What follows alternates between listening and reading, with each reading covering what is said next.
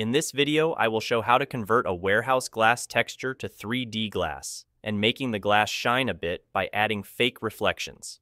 These fake reflections are made the same way as the chrome parts you see on vehicles. They don't require UV mapping, but instead, the visuals depend on how the vertex normals are oriented. If you're on version 2021 or above, for GTA materials to work, set to max legacy and restart 3ds Max. Start by importing the warehouse model.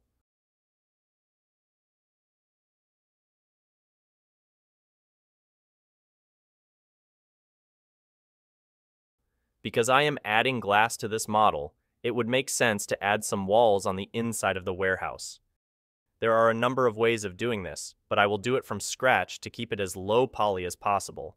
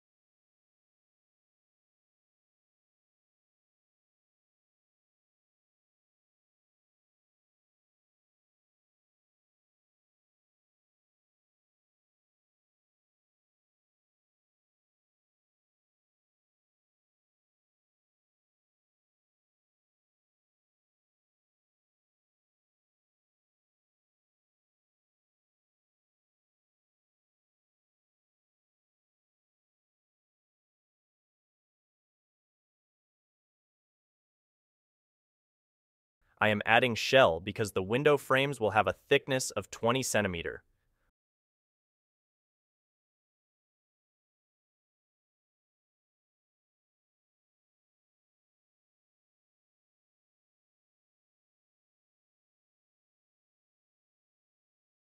For the glass, you could make the window portion of the texture transparent, but that will introduce transparency artifacts in-game like explained in Guide ID 82, which explains the basics of glass.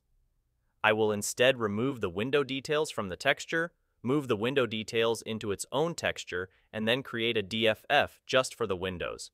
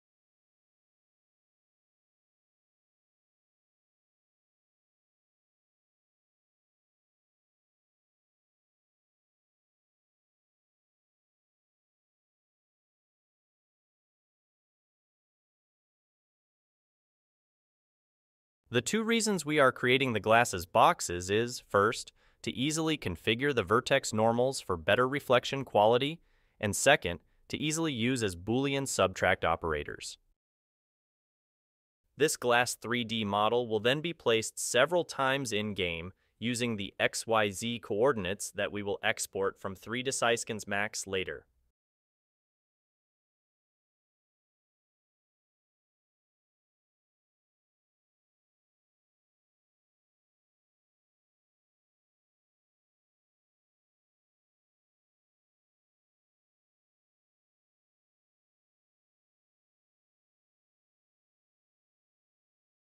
I will be using splines to easily distribute the glass across the sides of the building.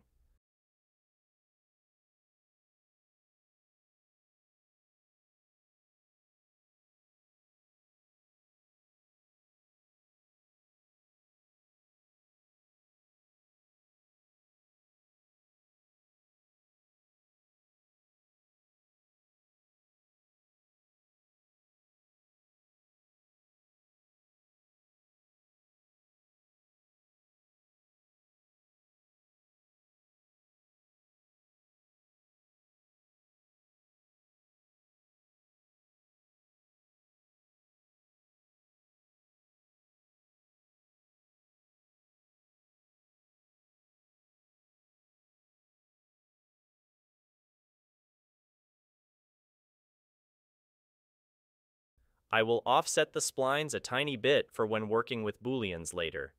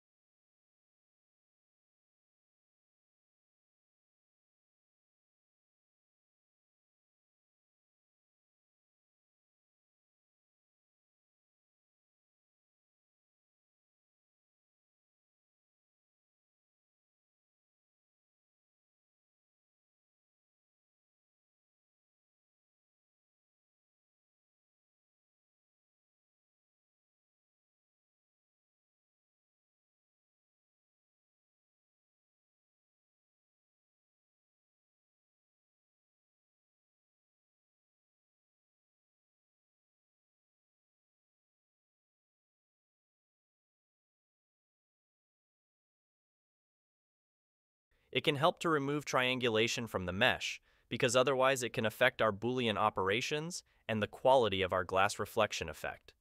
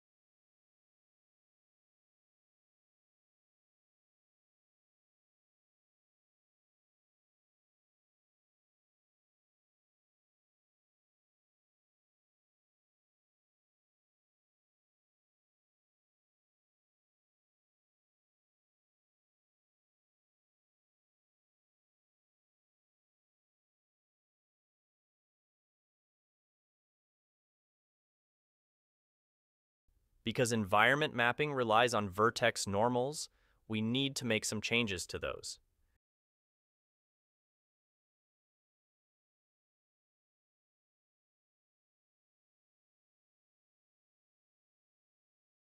If you are unhappy with the result in-game, then you would just need to change the vertex normals orientation or reduce or increase EnvMap opacity. The prelight and EnvMap values used in this guide are only a guideline. The glass will look different depending on which weather is active in-game.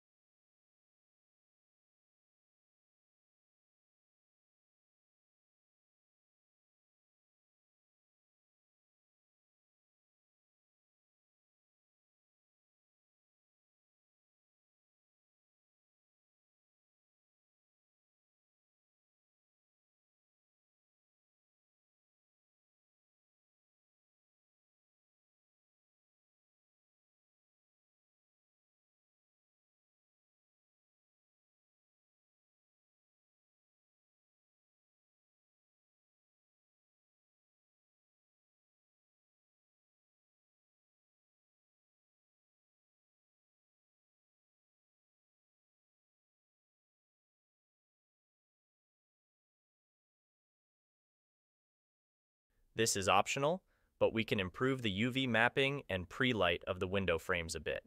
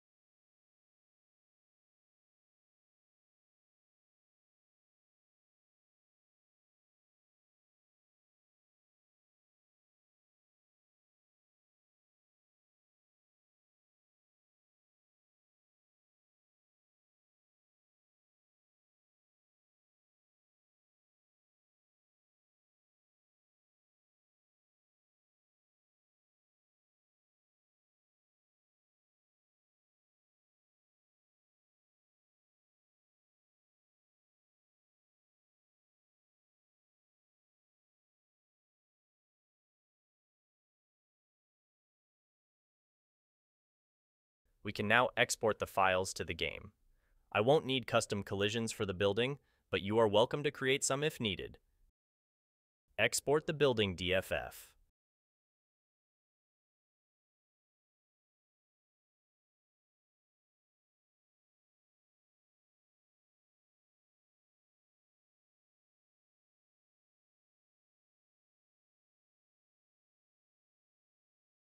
Export the glass DFF.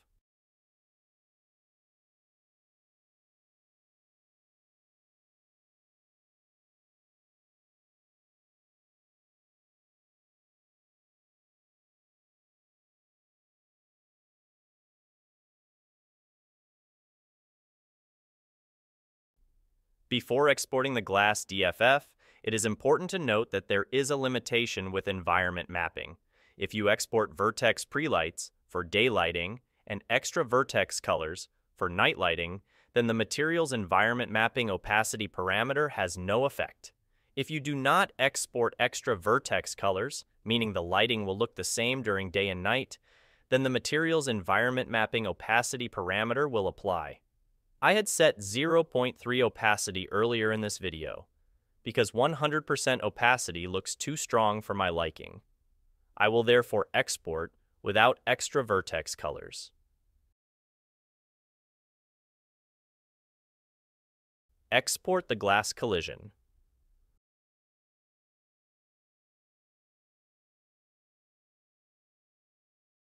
Although I am adding a glass collision surface, which will create a glass shatter sound effect when shot at, it won't have any effect in-game because I am not exporting collisions for the building's window holes.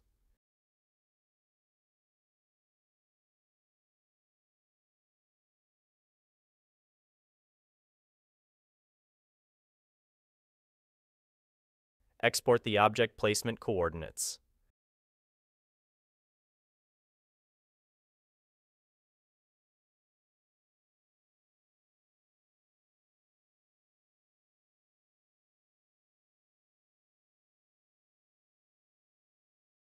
We need to move the building and the windows to its location in the game. I have already decompiled all binary IPL files from GTA3.img, and so I can quickly get the original coordinates for any object. However, you can also grab the coordinates with various map editors for GTA or MTA, as long as they display the full decimal length in the coordinates.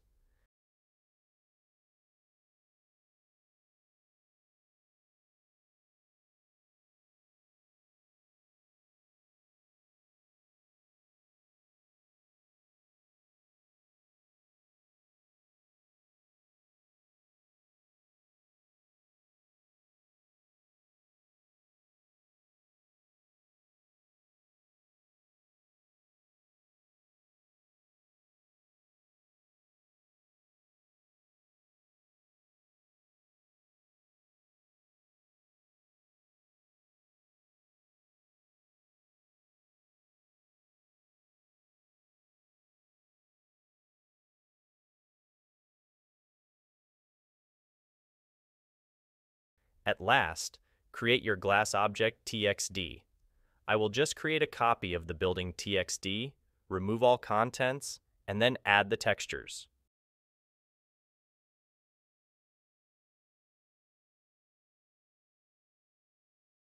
In order for glass transparencies to render in-game, you will need to set alpha transparency flag in engine replace model.